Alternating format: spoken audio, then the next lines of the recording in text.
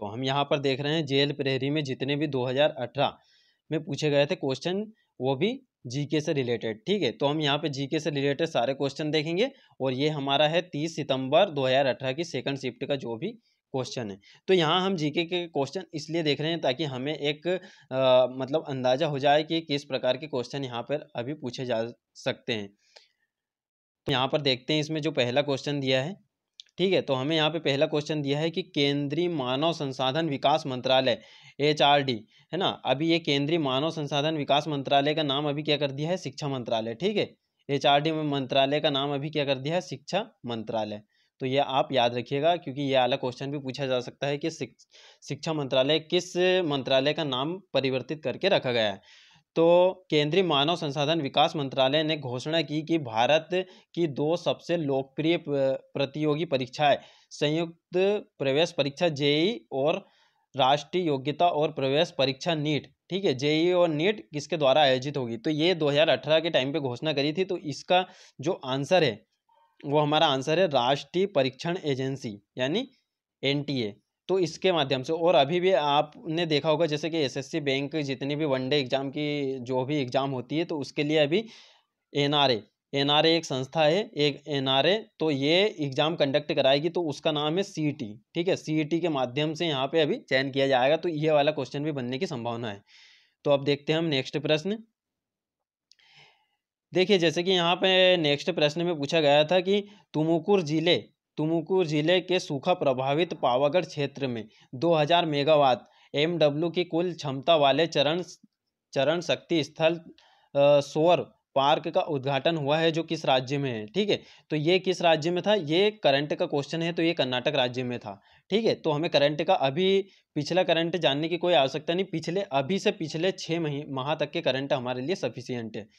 तो हम देखते हैं यहाँ पे अगला क्वेश्चन देखिए जैसे कि तीसरा क्वेश्चन यहाँ पे पूछा गया था कि निम्नलिखित में से मध्य प्रदेश के तीसरे मुख्यमंत्री कौन कौन थे?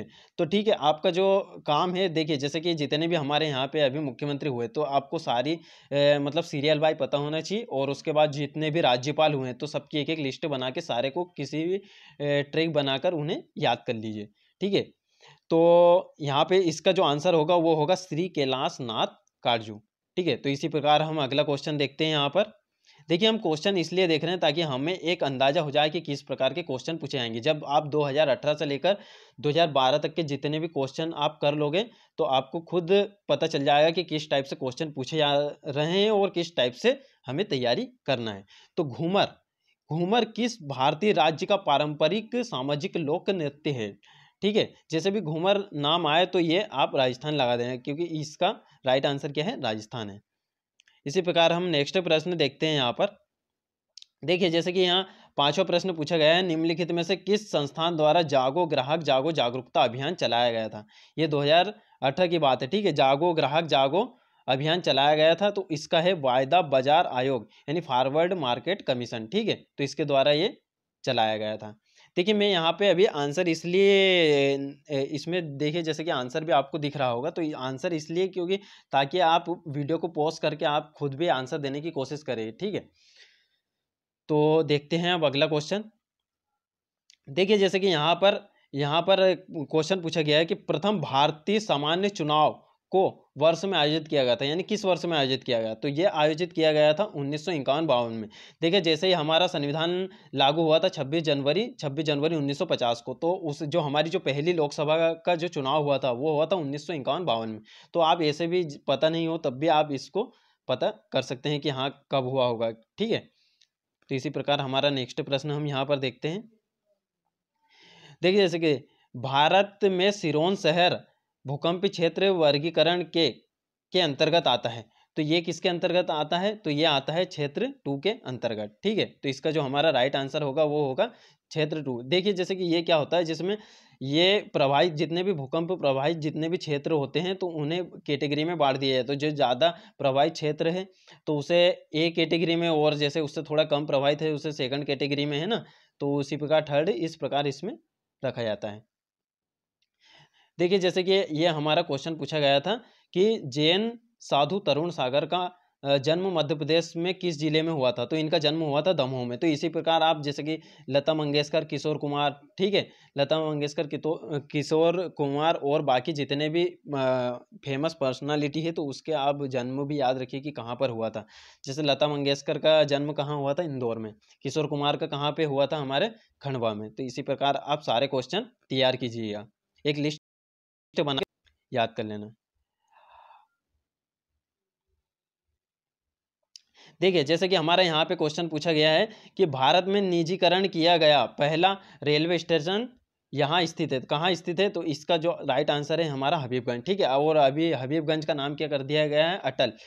अटल रेलवे स्टेशन, ऐसा कुछ नाम इसमें किया गया है। ठीक है तो उसी प्रकार हम नेक्स्ट प्रश्न यहाँ पर देखते हैं।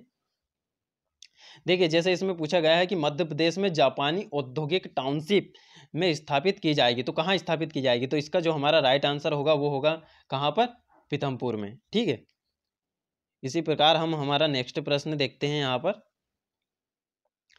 देखिए, जैसे इसमें पूछा गया है कितनी राष्ट्रीय वार्षिक योजनाएँ अब तक प्रस्तावित की जा चुकी है, ठीक है? तो अभी तक छह राष्ट्रीय योजनाएँ, वार्षिक योजनाएँ प्रस्तावित की जा सकती है की जा चुकी है। देखिए, जैसे इसमें यहाँ पर ये जो हमारा योजना योजना आयोग द्वारा जो फाइव ईयर प्लान जो होते थे, वो वाली नहीं, ये राष्ट्रीय वार्षिक योजना ये अलग है। तो ये आप याद रखिएगा। और अभी हमारा फाइव ईयर प्लान अभी कैंसिल हो गया, इसी उसको रिप्लेस करके क्या नीति आयोग का गठन किया गया है। ठीक है तो अब जितना योजना आयोग जो कार्य करता था तो उसी उसी के आधार पर अब नीति आयोग काम करता है। बाकी इसकी जो प्रोसेस है वो थोड़ी अलग है। तो ये आप ध्यान रखिएगा। तो नीति आयोग का गठन 2015 में हुआ था। अब देखिए जैसे कि बारहवा प्रश्न, मध्य प्रदेश के किस ज़िले में नोरादेही अभ्यारण्य स्थित है? ठीक है? तो ये हमारे कहाँ है? सागर में। और ये मध्य प्रदेश का सबसे बड़ा अभ्यारण्य है। ठीक है? अभ्यारण्य अलग होते हैं और राष्ट्रीय उद्यान अलग होते हैं। तो सबसे बड़ा अभ्यारण्य हमारा कहाँ हो गया? सागर में। तो इसी प्रकार सबसे छोटा यदि हम देखें तो कौन सा है? राला मंडल ठीक है? तो राला मंडल कहाँ पर है हमारे? इंदौर में। और यदि आपसे पूछे कि मध्य प्रदेश का सबसे पहला राष्ट्रीय उद्यान कौन सा है तो कहना किसली ठीक है, कहना किसली ये 1933 1933 में राष्ट्रीय उद्यान बना था। तो इसी प्रकार आप देखिए, जैसे कि हमारा हमने परसों के दिन जो क्वेश्चन पेपर सोल्व करा था, उसमें भी राष्ट्रीय उद्यान से क्वेश्चन आया था। तो आपको ये पता चल गया कि हाँ राष्ट्रीय उद्यान से जितने भी हमारे आईएमपी क्वेश्चन है, वो बनेंगे। ठीक है तो राष्ट्रीय उद्यान आपको कंप्लीट करना है, राष्ट्रीय उद्यान और अभ्यारण्य और उनमें पाए जाने वाले प्रमुख जीवों के बारे में। अब देखिए, जैसे कि यहाँ पूछा गया है कि जनवरी 2018 में फ्रेंड ऑफ़ एमपी समिट कहाँ आयोजित हुई?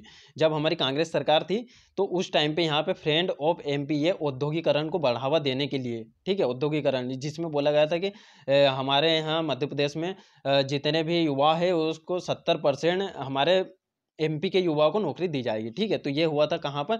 इंदौर में। यदि आपको ये पता भी ना हो तो आपको पता है कि औद्योगिक राजधानी कौन है? इंदौर है। तो सबसे ज़्यादा इवेंट कहाँ होते हैं? तो ये औद्योगिक संबंधित इवेंट कहाँ होते हैं? इंदौर में। तो ऐसे भी आप पता कर सकते हो। वैसे करंट अफेयर के क्वेश्चन आपको वैसे आना चाहिए एमपी से रिलेटेड अब देखिए, जैसे यहाँ क्वेश्चन पूछा गया था, रानी अहिल्याबाई होलकर द्वारा संरक्षित रेशम सूती धागे के साथ बुने कपड़े का नाम बताइए, ठीक है? तो ये है महेश्वरी साड़ी, ठीक है? जैसे कि रानी रानी अहिल्याबाई होलकर, ठीक है? होलकर कहाँ के थे? इंदौर के थे, ठीक है? इंदौर में होलकर थे और ग्वालियर में कौन से थे? तो ग्वालियर में क्या थे? हमारे सिंधिया, ठीक है? ग्वालियर में सिंधिया और इंदौर में होलकर। तो जितना भी, जैसे ये एमपी का ये नीचे वाला पार्ट है, खंडवा, खरगोन वगैरह है ना तो ये इंदौर ये इंदौर की रियासत के अंतर्गत आते थे। ठीक है तो यही महेश्वरी, साड़ी है महेश्वर में, खंडवा में। तो इसी प्रकार देखें यहाँ हमारा पंद्रहवा प्रश्न है तो ये पूछा गया है, मध्य प्रदेश में 2018 के वार्षिक शासकीय स्वच्छ सर्वेक्षण वर्ष में दूसरे स्थान पर रखे जाने वाले शहर का नाम बताइए। ठीक है तो दूसरा शहर हमारा कौन सा है? भोपाल। ठीक है, वो यही क्वेश्चन कल के जैसे, जो मैंने कल जो क्वेश्चन पेपर सोल्व कराया था, उसमें भी सेम टू सेम वैसा का वैसे क्वेश्चन इसमें आया हुआ है। तो ये आप ध्यान रखिए। तो देखिए, जैसे कि यहाँ पूछा गया है, ये हमारा क्वेश्चन पूछा गया है कि पंडित शिव कुमार शर्मा किस शास्त्रीय संगीत वाद्य यंत्र के उस्ताद हैं? तो ये है संतूर के। तो आप ये भी तैयार कीजिएगा कि कौन कौन से प्रमुख संगीतकार हैं हमारे यहाँ एमपी में और उनसे जुड़ी हुई कुछ विशेषताएँ भी आपको पता होना चाहिए। देखते हैं हम यहाँ पर नेक्स्ट प्रश्न। तो निम्नलिखित में से कौन मध्य प्रदेश का राजकीय पक्षी है? देखिए सेम टू सेम यही क्वेश्चन एमपीपीएससी में पूछा गया था 2018 के क्वेश्चन पेपर में, ठीक है? तो उसमें इसका नाम दिया गया था उसमें इसका नाम दूधराज नहीं दिया गया था, उसमें दिया गया था एशियाई पेराडाइज फ्लाई केचर ठीक है? तो इसके तीन नाम है, याद रखना, दूधराज, सुल्ताना बुलबुल और एशियाई पेराडाइज फ्लाई केचर तो आप इसका नाम याद रखिए। अब जैसे कि ये अठारह प्रश्न हमसे यहाँ पर पूछा गया है कि निम्नलिखित में से मध्य मध्य प्रदेश में निम्नलिखित में से कौन सी कछुए की एकमात्र प्रजातियाँ पाई जाती है? तो इसका है जियो केलोन एलिगेंस, ठीक है? ये दो चार ऐसे मतलब टफ क्वेश्चन इसमें डाल देते हैं, जिसके बारे में किसी ने भी नहीं पढ़ा होगा तो उससे आप घबराइएगा मत, जितने आपको आते हैं, उतने आप करेक्ट करिए। यानी बीस में से हमारे सत्रह से अठारह क्वेश्चन हमारे किसी भी हालत में सही होना चाहिए। देखिए, जैसे कि यहाँ पे उन्नीस प्रश्न पूछा गया है, उन्नीसवें प्रश्न में। ठीक है। यहाँ पे उन्नीसवा प्रश्न पूछा गया है कि निम्नलिखित में से किस सरकारी संस्थान ने भारत में कृषि अपशिष्ट के प्रतिशत का अनुमान लगाया है?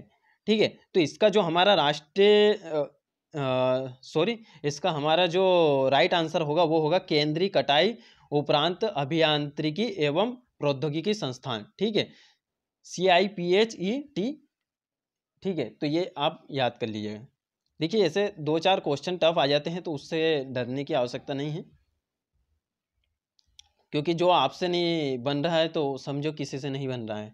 निम्नलिखित में कौन सी मिट्टी नदियों के तलछट में, तलछट से बनी होती है एवं जिसमें पोटास अधिक लेकिन फास्फोरस कम होता है? तो ये क्वेश्चन हमसे पूछा गया था। देखिए, मध्य प्रदेश की जितनी भी मिट्टियाँ हैं तो सभी में नाइट्रोजन और फास्फोरस की कमी पाई जाती है, ठीक है? ये तो आपका एक पॉइंट कंप्लीट हो गया। तो इसमें देखिए जलोढ़ मिट्टी ठीक है, अब देखिए, नदियों के तलछट पर बनी, ठीक है, नदियों के द्वारा बहाकर लाई गई और तलछट पर बनी कौन सी? जलो मिट्टी ही होती है, ठीक है। तो ये इसी प्रकार हमारे बीस क्वेश्चन कंप्लीट हो गए हैं। इसी प्रकार हम जल्दी जल्दी ज़्यादा से ज़्यादा दस मिनट का वीडियो है तो इसमें हम सारे क्वेश्चन कंप्लीट कर लेंगे, क्योंकि इनमें ज़्यादा कुछ बताना नहीं है और जितना अगर कुछ एक्स्ट्रा पॉइंट बताना रहेगा तो मैं बता दूँगा। बाकी हमारी सीरीज़ चलती रहेगी। मिलते हैं अब नेक्स्ट वीडियो में।